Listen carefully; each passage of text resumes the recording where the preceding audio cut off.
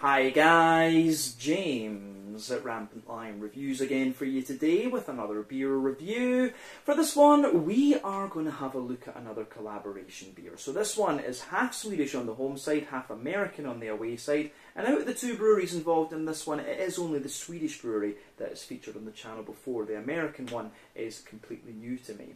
So when it comes to the Swedish brewery, if people were to ask me about them, I would say that they're best known for their different kinds of uh, KK uh, imperial stouts, pastry stouts they're calling them these days, but these guys were a real pioneer within this particular beer category here in Sweden and further afield in Europe, but they also do some really nice big fruity juicy sour beers. But they are a very well rounded brewery these days in fact and potentially one of the most recognisable names when it comes to Swedish craft beer. When it comes to the American brewery, these guys I guess could be regarded as a very kind of up and coming brewery, although they do have a very strong nationwide reputation, what I understand, but they are also very well known for their big imperial stouts and also their kind of fruity, smoothie, sour beers actually. So this, matching these two breweries for a collaboration beer, I think is a little bit of a match made in heaven. But the beer itself is part of a series of beers from the home brew that I love very much. I always look forward to these ones being released. It's one of their latest releases through Systembolaget here in Sweden. It's a style that I very much enjoy. So, needless to say, I am very, very curious to see what this one is going to have in store for us. So, hopefully, it's another good beer. Hopefully, it makes for an interesting review, and as always, I hope that you guys watching enjoy my take on this one as well. So, uh, yeah, for the home side of things, then, we are going to head up towards Stockholm, the Swedish capital. We're going to go to the northwest of the city to Sundbyberg, and those of you who watch the channel for long enough will know that that means that we're going to have a look at yet another beer from the wonderful Omnipollo. So, this particular beer is called Bianca Hydra. This one comes in at 6% ABV. They're describing it as a blueberry banana split lassi Gose. and this is, of course, brewed in collaboration with Mortalis Brewing Company, who come from Avon, just a little bit to the south of Rochester in kind of north central New York, if we can call it that. So, uh, yeah, another brewery that from the States that is new to me, but one that has a very, very good reputation, and Hydra is one of their main series of uh, kind of modern sour beers that they do, from what I gather. So, yeah, a kind of combination of two very, very well respected modern sour beer brewers, and a combination of two of their most well known and well appreciated series. So, yeah, nothing to complain about there. But this beer was released as part of the Tillfälligt assortment through Systembolaget here in Sweden in the beginning of June uh, 2023. So uh, yeah, I forget exactly how much I paid for this one to be honest with you, but these beers are always a little bit more expensive in the Bianca series, but they always tend to be pretty damn good. But yeah, let's crack on with this one then and see what it's going to have in store for us. So, as always with my reviews, I'll tell you a little bit about both the breweries involved in this one before we taste the beer. If you want to get straight to the tasting though, just fast forward. All the usual links can be found in the video description below. That's the brewery website, the link to my other reviews that I've done from Omnipollo, and my future reviews that hopefully I can do from Mortalis Brewing Company. Very first time we're trying something involving them as I've mentioned already, but there's all the usual social media down there. If you want to see more reviews, do please consider subscribing to the channel. The support that you give is massively appreciated.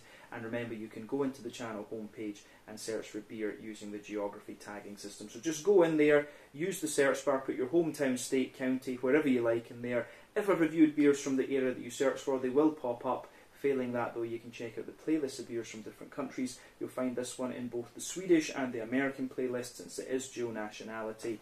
And uh, of course, you can check out the playlist of beers from other countries as well.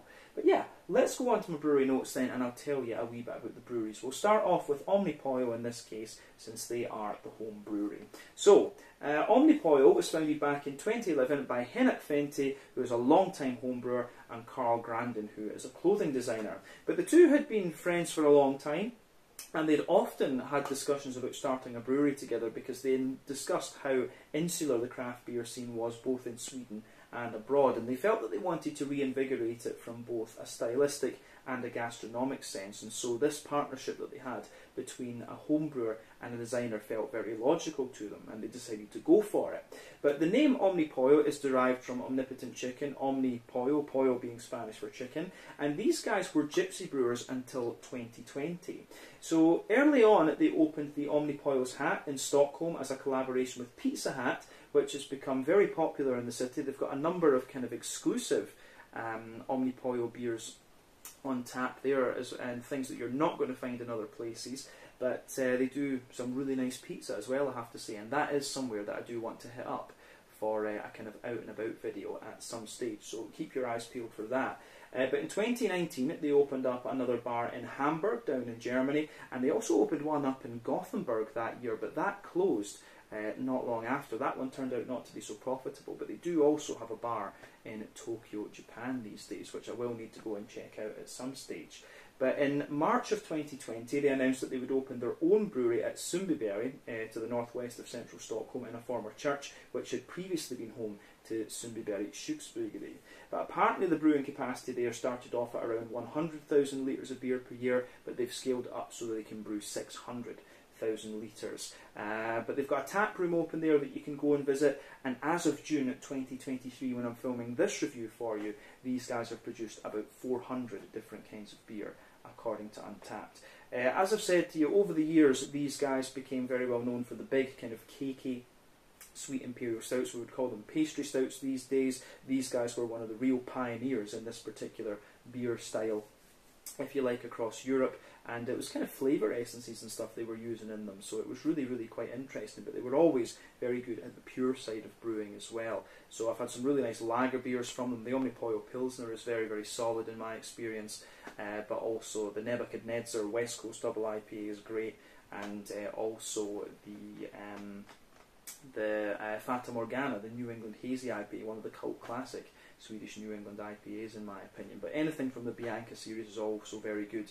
So um, yeah, I would recommend that you have a go at some of these beers if you get the chance. But yeah, that is everything I can tell you about Omnipollo for the moment. If you want to learn more about these guys, you can of course check out the brewery website, follow them on Facebook and Instagram to keep up to date with the latest goings on, and you can check out the Rate Beer, Untappd, and Beer Advocate pages to learn a little bit more about all the different beers that these guys have done.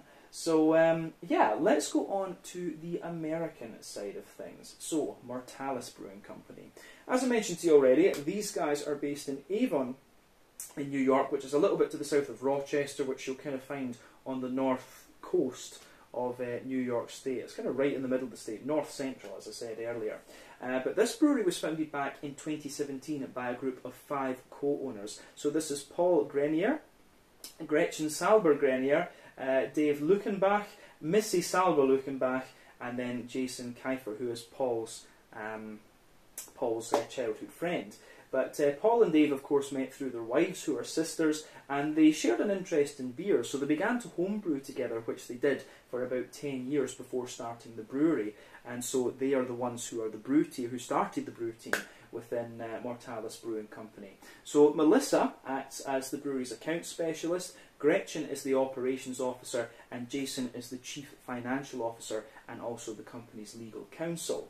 But uh, early on, they participated in a competition called Brew in Livingston Business Education uh, Business Plan Competition, basically. And uh, this was started by the Livingston County Economic Development Office to try and encourage uh, start up breweries and basically just grow the local economy. But this secured them some state funds, and they also received funding from a Kickstarter campaign that they did, receiving in total $31,000, and uh, this allowed them to fund uh, a little bit of the renovation of their premises and also a little bit of uh, kind of new equipment and things. So they started off with a five barrel brewing system and a one barrel pilot kit, and uh, this was used mainly for their experimental batches. But the brewery opened its doors in August of 2018, and they soon added Josh Bauerlein to the brewing team, who had many years of homebrewing experience behind him. But over the course of 2019, they produced around 1,000 US barrels, which translates to roughly 160,000 litres. And over the last few years, they've been travelling to different beer festivals around the country, and they've built a very strong reputation particularly for their sour beers and their imperial stouts. They do have quite an impressive barrel program if you go and read about it. But more recently, they've also added uh, Joey Loenig to the brewing team, and they're just kind of continuing to be prolific and develop new beers. As I said to you earlier, this brewery are probably best known for their big uh, imperial stouts and their barrel program, but also for those kind of modern, smoothie, Nordic, whatever we're going to call them, sour beers. But as of June 2023, when I'm filming this review for you, these guys have produced 550 different kinds of beer according to Untappd. And if you think that they've only been around for about five, maybe six years at most, that is pretty damn impressive. That's at least, uh, that's more than one beer actually, every week in fact. So uh, yeah, that is everything I can tell you about Mortalis Brewing Company for the moment. If you want to learn a little bit more about these guys, you can check out the brewery website. You can follow them on Facebook and Instagram to keep up to date with all the latest goings on, and you can check out the Rate Beer, Untappd, and Beer Advocate pages to learn a little bit more about all the different beers that these guys have done. So um, yeah, let's go on then and actually have a taste of this beer. I'm really curious about this one. So as you can see. Uh, this beer has a little bit of a mix of the uh, Mortalis artwork there on the top and then the more classic Karl Grandin stuff uh, on the bottom. But you can see plain silver top on the can there. This one is a 440 milliliter. I don't know what that translates to in uh, American freedom units, you know, all the fluid ounces and all that kind of stuff. I really don't get why they use that system, but that's another story. But uh, yeah, this one was brewed uh, by Omnipollo at the Proefbrouwerij in Lochristi Hijfte down in Ghent, uh, down near Ghent in Belgium, I should say. So this is one of their De Proef beers. Uh, many breweries brew down there, in fact. But like I said, this was released as part of the Tillfälligt temporary sortiment, which Systembolaget here in Sweden uh, toward uh, in the beginning, middle of June 2023, and they're describing this one as a blueberry banana split Lassi Gose. So yeah, the Bianca series is of course known as the Lassi Gose series, and we've had many of those over the years. But there seems to have also been many different type, kinds of Hydra from uh, Mortalis as well. So we'll need to see if we can get a hold of those at uh, some point to review on the channel. But yeah, really nicely presented this one. Let's get this guy out into the glass and see what it's all about. Another 6% Gose. So remember, the Gose is of course a German style of beer originally. I forget the name of the town it's from, but the Goses were essentially, they used to put them in cellars uh, they used to put them in bottles and let them ferment in the cellar. You get a cloud, basically a cloud of foam just coming up over the top. But they would put a little bit of salt and things in them. So yeah, the Gose always has a little bit of a kind of salty characteristic to it. But yeah, just look at the colour of this thing as it pours. This is pretty damn impressive, I have to say. So uh, yeah, I think we'll leave that for the moment because that's enough to take a, a look at the um, the colour of the beer. So as you can see, this one's poured just as we've seen from a number of the other beers in this particular series. So um, the head before it disappears is about a half finger, lovely kind of foamy head. You can see that it's got this very bright, almost luminous kind of purple quality to it, which is nice. Reminds me of the Heart of Midlothian football shirt, as I always call it, a lovely sort of burgundy bright pink purple colour. You can see some uh, smaller bubbles toward the top of the head there, some more kind of foamy things, a few bumpy bubbles as well, but it's kind of medium sized bubbles that are just sitting on the surface of the liquid there. But yeah, um, colour wise, this one, uh, it's kind of hard to say actually. It looks like a very, very, very dark sort of uh, purple tint sort of thing, almost like beetroot colour, I think it's fair to say. So remember, the colour of your beer depends on a few things. One, the type of malts that you use. This goes a long way to determining your EBC rating. Two, length of your wort boil is also going to play a role because the longer you boil the wort, the more the sugars caramelise and thus you get a darker colour of beer. But any barrel aging you do or adjuncts you put into the beer will affect the colour too. But most of the colour in this one, I'm guessing, will have come from the addition of uh, the blackberries in, or blueberries in this one. Sorry, it's not blackberries. So yeah, most of the colour in this one will be coming from the addition of the uh, the blackberries. Some of the malty characteristics in this one uh, will be interesting to see too. Some of these um, Lassi Gose beers can be very, some of them can be very very sweet, but some of them can be a little bit more kind of savoury and things. And the ones that tend to be as dark as this have tended to be more kind of savoury and like pastry sours rather than smoothie sours. In uh, in my opinion. So that would, for me, that's a, there's a clear divide between those styles. The smoothie sours are the ones that are very kind of creamy and sweet, whereas the pastry ones are the ones that have that sort of savoury type base to them. I'm not sure exactly where this one is going to lie, but we'll just need to see. Not much in the way of visible carbonation with this beer. One or two big bubbles sticking toward the side of the glass, a few little ones going up toward the surface of the beer, but you can see the head has just faded away a little bit. A little bit of a kind of foamy layer on the top, and some nice, uh, a nice kind of foamy ring around the edge of this one. And I will say, just from moving the beer around, there's a hell of an aroma of banana coming off this one. And I will admit, I don't particularly like the smell of banana. So um, yeah, we'll need to see with this one. But I've found I, I'm curious about this one. As I say, it was a Bianca, and I've had ones that have had other things in them before that I've not that I wouldn't like normally, and I've always enjoyed the beer. So that was the main reason behind getting this one. But yeah, banana is like one of the kind of fruit, few fruits that I don't particularly like. Uh, but I like you know I like candied banana. I have to say that I do like banana flavour. Uh, in, in sweets and things like that, if that makes sense. But yeah, let's have a wee look at the aroma of this one then and see what it's all about. Oh yeah, like when you go into it more closely, it's a lot more kind of berry leaning, I have to say. Um, yeah. Now, as I've often said with these kind of modern sour beers, very often they are very straightforward in their aroma profiles, but if they're done correctly, they're beautiful beers to drink. They are really, really nice, and I think this one's going to be no exception to that. But yeah, as soon as you stick your nose into the glass with this one, the blueberries just jump out at you, and it's almost like the, the aroma of this beer reminds me of a sweet we had back home in Scotland called uh, Parma Violets. It really has that kind of Parma Violet, like candied, fruity note to it, which is interesting. So yeah, for me, the way this goes together is uh, is really really interesting, as I said. Um, but yeah, the backbone of this beer is very. It's quite hard to pick up actually because the the the kind of saltiness from the gose and the black, the blueberry notes out of it are just uh, are really yeah. The, the blueberry notes are so um, kind of sharp and candied, if you like. So yeah, the way this one goes together, I think, is very very nice in that sense. Um, but yeah, the where do we start with this bit then? Let's see if we can get a bit more of the maltiness out of it. I mean, if you sugar it up, you do get a little bit of this kind of. You can smell there's a little bit of a kind of cake edge, if you like, there to this one, like a sort of. It's not even chocolatey. It is more like a kind of fruit cakey type thing of this one. So you get a kind of sponge cakey edge to this. There's a little bit of that kind of like fruit soaked uh, sponge cakey note in this one. Maybe a little bit of kind of brown bread and things like that. I do get a little touch of a kind of toasty um, I do get a little touch of a kind of toasty, brown sugary note out of this one, but um, yeah.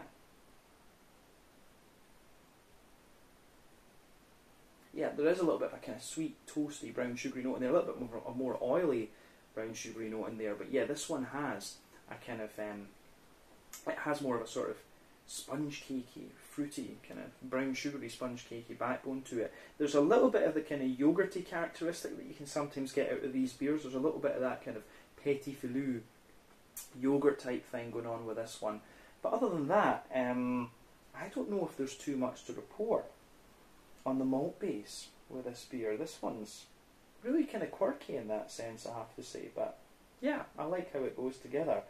Um, yeah, on the for me on the um, on the hoppy, I think that's everything we need to say about the malty and yeasty side of the beer. To be honest with you, on the hoppy side of things, um, I do. I think with the Bianca series, Omnipollo don't usually use hops, and it's an interesting thing to talk about when it comes to sour beers. A lot of modern breweries choose not to use hops because if you put fresh hops in these beers, the bitterness takes away from the sour side of the beers. Likewise with the more modern sour beers, if you put fruit in as an adjunct, they will suppress the green component anyway. Uh, back in the day, with the old school kind of woody traditional Belgian sour beers, they tended to use older hops that had lost a little bit of their alpha acid potency. And this is one of the things with um, this is one of the things with um, with modern breweries, as you say, it's always interesting to ask them what their hopping mentality is. But I believe that Omnipollo and many, uh, actually many Nordic sour beer breweries don't use. Um, they don't tend to use um, the the hops in their beers actually. Um, so yeah, that's worth knowing. But interesting point anyway. But I do find you still get a little bit of a placebo effect out of these beers. There's a little bit of floral character. There's a little bit of grassiness. Um, so yeah, the way that that goes together in this one, I think, is is really quite interesting.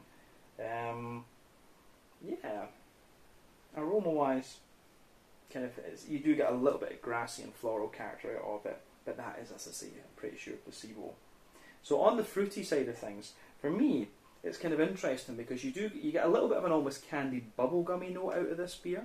But of course, you do have the banana in there, which I'm sure, knowing Omnipollo, it will be flavour essence. They like to use flavour essences in their beers.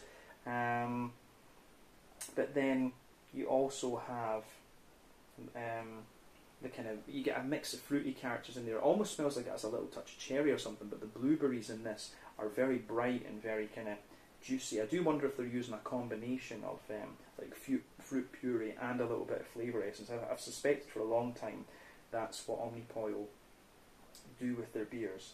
Um, but yeah, aroma wise, this is very nice. The, the more that you smell this one, the more your nose adjusts to it, and you start to get all the other. Um, you get a little bit more kind of, you get a little bit of like a fig and a raisin and a plum and stuff coming out of the aroma of the beer as well. You get these other little placebo notes. But uh, yeah, as I always say, take a little bit of time to just enjoy the aroma of the beer before you get stuck into it. But I think it's about time that um, we get stuck into this one. Then let's do this. So this is the uh, the Bianca Hydra, a blueberry banana split Lassi Gose at six percent ABV. This version is brewed by Omnipollo, uh, based in Stockholm in Sweden, but they brew the beer down outside of Ghent in Belgium, and it's in collaboration with Mortalis Brewing Company from Avon, New York, over in the US. Apparently, this has been brewed in the US as well. I should point that out. There is a version over there which I believe is called Hydra Bianca. So, yeah, let's get stuck into this one. Slàinte, Skål, cheers.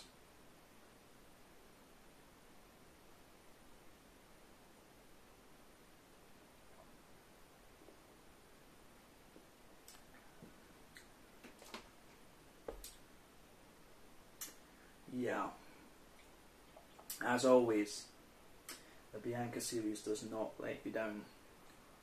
And I will say I'm glad about this because, as I said, that that big banana aroma that I got out of this one at the start, I was I was a bit put off by that to be honest. But when you actually taste it, the banana kind of comes out a little bit more in the aftertaste, and it's quite nice the way it comes out. I have to say, actually, um, yeah, this is good. Uh, I, I love you know, I love berry sours. A lot of our desserts back home in Scotland are based on berries. So um, yeah, this one is um, is really quite nice.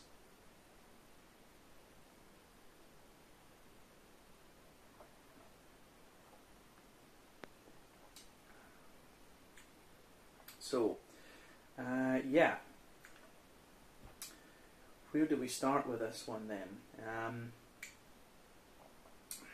just beautiful, beautiful beer. It gives you everything. If you know this series, you know it does. Um, it gives you everything you want. What I would also say about this beer is that stylistically, it's one of these ones that kind of straddles the line between being a a, pastry sour and uh, a smoothie sour. It's got a little bit of everything. Like in the beginning, it is more like a kind of smoothie sour, but in the aftertaste, it is more like a pastry sour. That's that is most definitely fair to say with this beer. Um, yeah, I like that about uh, about this one for sure. But let's try and break this beer down and describe the flavour for you a little bit more in depth as we always do. We'll start in the middle third of the palate as usual. So the backbone of this beer, um, the backbone of this beer, it's a little bit more.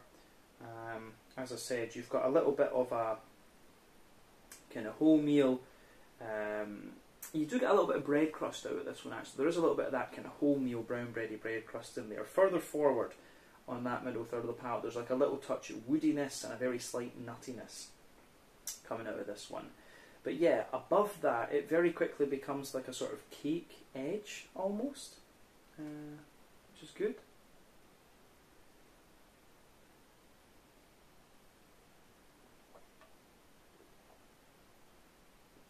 So yeah, it has got a little bit of a more kind of cake edge to it this beer. So you can feel the if uh, what I mean by cake edge is the bit that's kind of stuck to the paper when you have like a muffin or something. You know, just that slightly harder edge that you get. But then above that, you start to get a more kind of sweet. You start to get a more kind of um, sweet. Um, you get a little bit more of a kind of um, sweeter, like brown sugary, sponge cakey sort of thing out of this one, and you can feel that within. You can feel that layer just kind of building up, and it's got a little bit. The beer has a. It, it has. It's almost a bit like banana bread. Actually, it's like got that banana. The, the banana's kind of infused into that kind of sponge cakey note in the middle of your palate with the beer, and there's a little bit of a, like a kind of bubblegummy type sweetness in there as well, and just a little bit of a kind of nutty character. So yeah, above the sort of bread crust and the cake edge, you've got this really fluffy layer in there, which really is very much like a, a kind of sponge cake. Um, yeah, I like that for sure.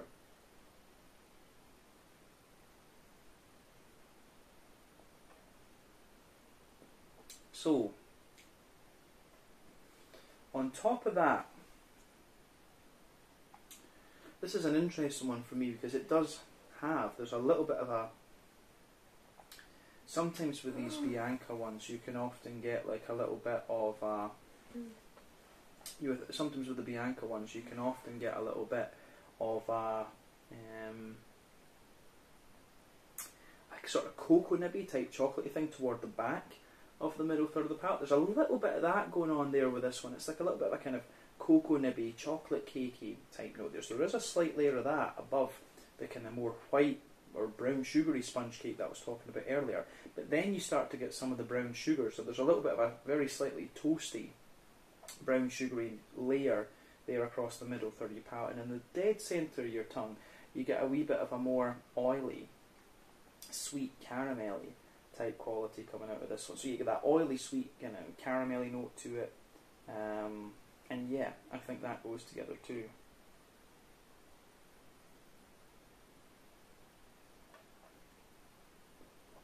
Um,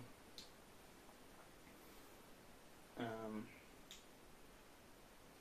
so yeah, the brown sugary notes in this beer are um,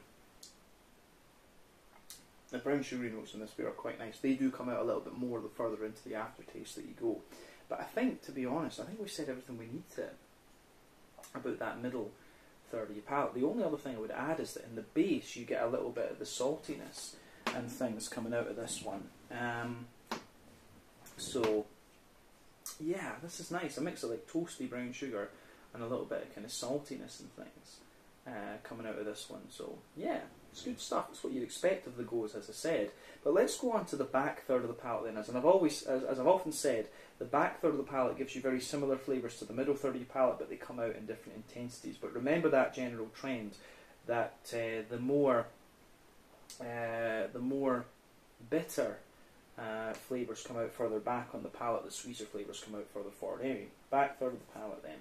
So you can feel the base of that. Um, you can feel the base of that back third of your palate.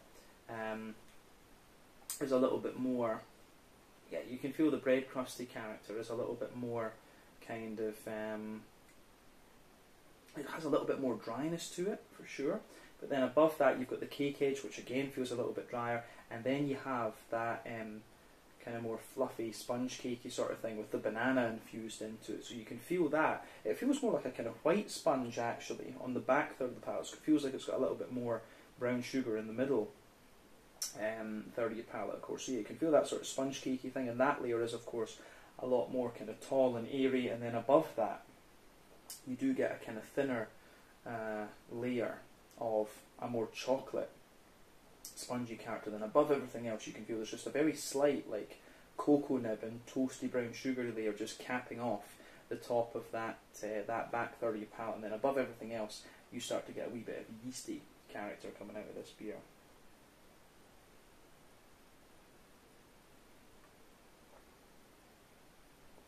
So,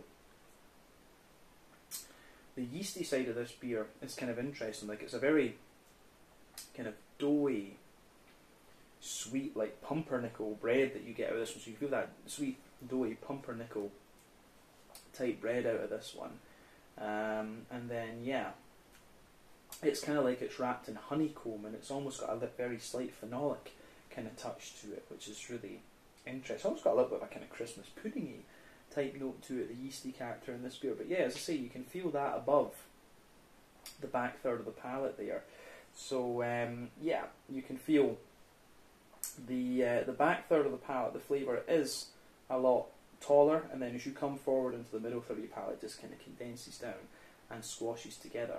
But yeah, I think that covers the kind of malty and yeasty side of the beer. To be honest with you, now as I said earlier, I'm pretty I'm pretty sure I was pretty sure from the aroma that this beer didn't contain hops, and I'm pretty certain of it from the actual flavour of the beer. The sides of your palate are very smooth; they're not dry and bitter at all, to be honest with you. But you do still get a little touch of kind of placebo effect in there. It feels like there's a little bit of smooth earthiness, there's a little bit of herbal character there, and as you come further forward, you get a little bit of a more kind of floral, aromatic sort of thing uh, coming out of this one. So you get a little bit of you get a little bit of that, so a little bit more kind of floral aromatic sort of thing, and then round the front curve of your palate, there's a little bit more of a um, yeah, you do get a little touch of kind of woodiness and grassiness and stuff like that, but very, very minimal. As I say, the hoppy characters that I'm picking up in this beer are kind of placebo, just because, you know, with beer you're used to that kind of thing.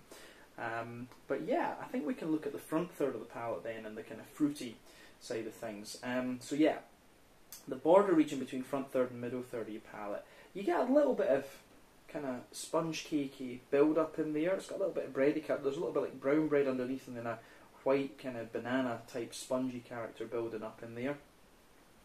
Um, so yeah.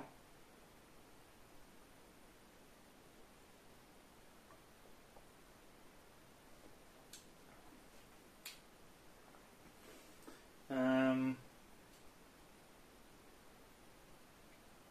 um, so yeah, the base of that front 30 palate, again you get a little touch of bread crust lovely kind of smooth, almost woody character in there, and then you get the kind of banana bread, spongy sort of thing coming out of this one, and above that you've got the blueberry notes coming out of the beer.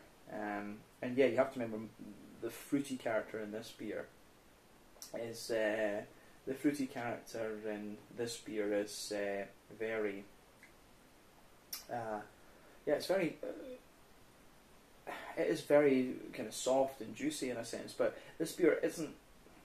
It's more sweet and just very slightly tart rather than being really sharp and sour like you're going to get from some of the lambics and things like this. And some of the juiciness of the blueberries just goes right around the edge of your palate there. And this is, as I say, the reason why a number of brewers that do these modern sour beers don't use hops in them.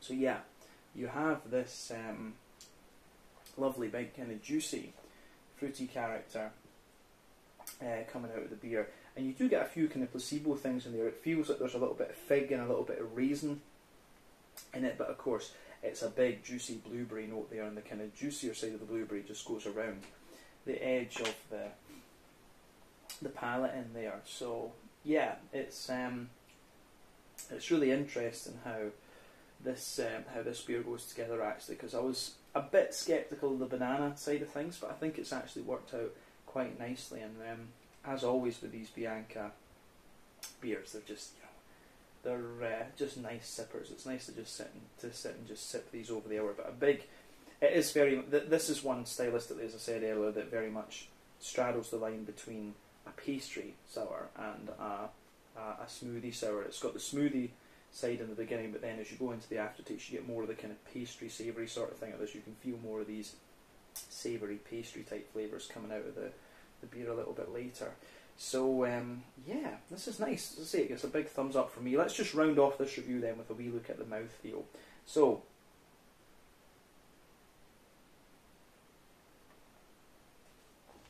Yeah, mouthfeel wise, this beer, it's definitely kind of pushing the full-bodied side of things. I say it's kind of mid-range of full-bodied. It's not. It's not the. Funnily enough, it's not the thickest one that I remember from the the Bianca series, in fact. So that's an interesting point to make about this beer as well.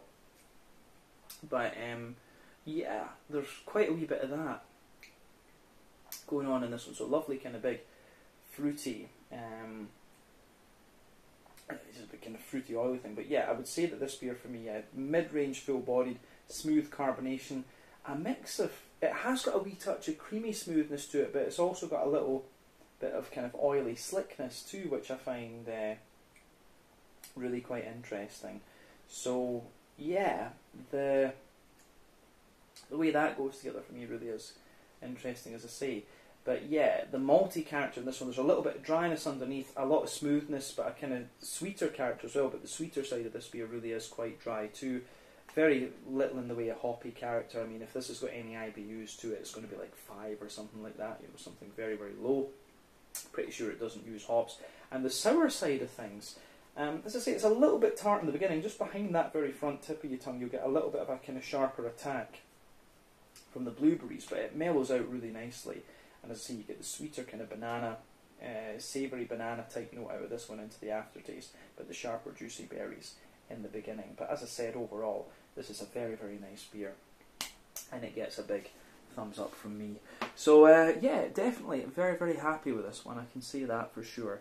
But yeah, I think we can leave it at that for this review. So yeah, this one was the Bianca Hydra, a blueberry banana split. Lassi Gose at six percent ABV, brewed by Omnipollo uh, in, from Stockholm, but brewed in uh, Lochristi again in Belgium in collaboration with Mortalis Brewing Company, who are featuring on the channel for the first time.